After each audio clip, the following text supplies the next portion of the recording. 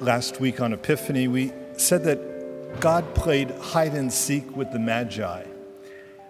Today, on the feast of the baptism of our Lord, it's more like charades.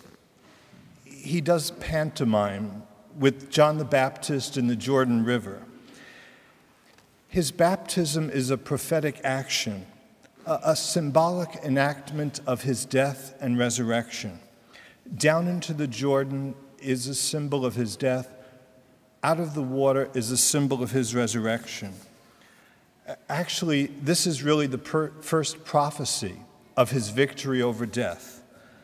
But it's a prophecy not in words, but in action. At the beginning of his public life, he sums up his life's mission. And John the Baptist is the one who shouts, Behold the Lamb of God. Okay? You know, you got it right.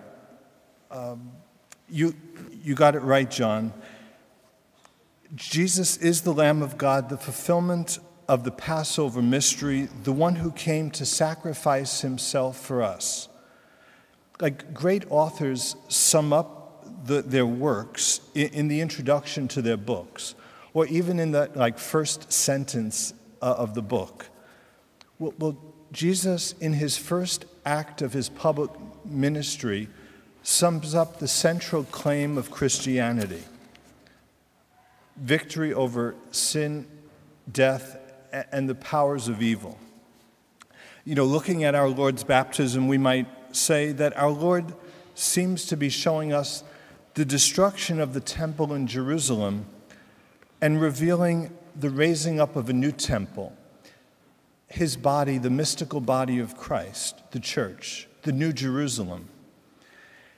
And there's a little curious thing that the Christmas season ends today with the feast of the baptism of our Lord And it seems like it might not perfectly fit with the Christmas season. But, but the reason is that baptism is our entry point into the mystery of Christmas. It's our entry point into the mystical body of Christ, the church. Um, like they say, what good would it have been if he were born 1,000 times in Bethlehem if he is not born once in us? Okay? What good would it have done us if he were born 1,000 times in Bethlehem, if he is not born once in us? In baptism, we become sons in the Son. St. Augustine kind of fit the baptism of our Lord into the mystery of Christmas when he said, The Son of God became a Son of Man, that the sons of men might become sons of God. Okay? With the feast of the baptism of our Lord, our celebration of Christmas is complete. Because celebration means entering into the mystery. And it's by our baptism that we enter into this mystery of Christ's uh, mystical body. Um, now, baptism does not guarantee uh, that a person will enter heaven one priest, Father Phil Bloom, says that baptism does not mean that all that a baptized person will automatically become a saint. Adolf Hitler and Joseph Stalin both received the sacrament. The person who turns from his baptism has a greater potential for evil. But it, it does mean that before baptism, it's easier to be lost than to be saved. But post baptism, it's easier to be saved than to be lost. Okay? Once we enter the mystical body of Christ, if we make use of the means God gave us for our salvation, it is easier to be saved than to be lost. Um, and uh, King Louis the Twelfth, the, the Ninth of France, would never sign his name Louis King he would sign it Louis of Poissy. He said uh, that that's where he was baptized, in Poissy in France. He says, Poissy is the place where I was baptized, and I think more of the place where I was baptized than of the Reims Cathedral where I was crowned. It is a greater thing to be a child of God than to be a ruler of a kingdom. This kingdom, he said, I will lose at death, but to be a child of God will be my passport to everlasting glory.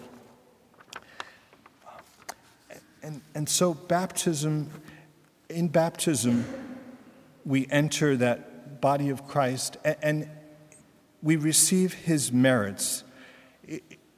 When, when we're baptized, it's as if God sees us, Fulton Sheen says, with Jesus colored glasses. It's as if we ourselves had undergone his passion and death. Um, at that moment, God the Father looks at us and says, This is my beloved Son, in whom I am well pleased. And even though baptism was for most of us a ways back, confession is, has been called a second ba- baptism. Because when we come to confession, God pushes the reset button for us. And we don't start again at the bottom of the mountain, we start again at the top of the mountain. We leave confession on the high road. You know, we've, we've regained our altitude that we've lost. Like we say, we start again from the top with God. Uh, so God once again sees us as his beloved Son, in whom he is well pleased. So, so we, we pray that we might use the means that God has given us through, his, through the church uh, for our salvation and, and come to confession because, like we say, when we walk out of the box, God the Father sees us with Jesus colored glasses.